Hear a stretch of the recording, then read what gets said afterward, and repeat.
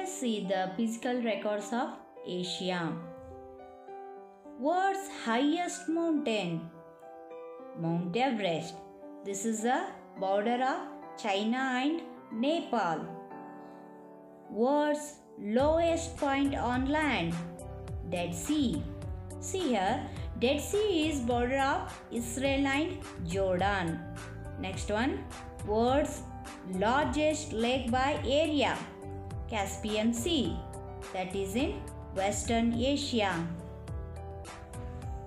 World's oldest, deepest and longest lake by volume, Lake Baikal. That is in Russia. Next, world's largest continuous sandy desert, Arabian Desert. That is in Saudi Arabia. Children, the world, see here, the third longest river in the world and Asia's longest river. That is River Yangtze in China. So now we will see the flags of some countries of Asia. First one is Mongolia. Mongolia's capital city Ulaanbaatar. Second one Russia. Russia's capital city is Moscow. Visit Lake Baikal. Third one Japan. Japan's capital city is Tokyo. Children, in Japan, Mount Fuji is an active volcano. Okay. Now, China. China's capital city is Beijing. China is famous for Great Wall. So, next one is Saudi Arabia. Saudi Arabia's capital city is Riyadh.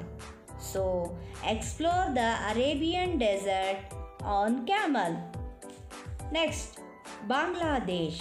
Bangladesh capital city is Dhaka.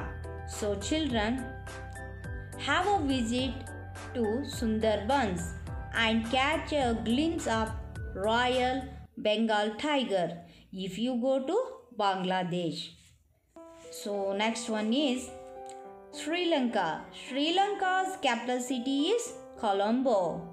Visit the ancient city of Sigirias, which has a rock portraits and is a World Heritage Center. Okay. Now, Jordan. Jordan's capital city is Amman. Jordan is a famous for De- Dead Sea. What is Dead Sea, children? Okay. Dead Sea is many times salter than the ocean. So, no aquatic animals and plants can survive there. Okay.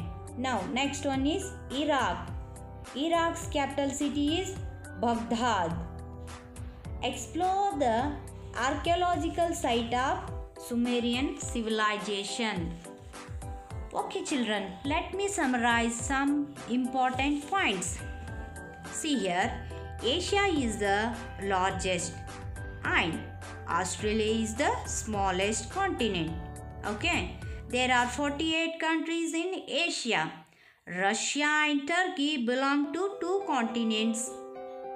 Part of their land is in Europe. Asia is the most populated continent on earth. So, the world's highest point, Mount Everest, and the world's lowest point, Dead Sea, are in Asia. So, children, in the next class, we will discuss about question answer. Thank you.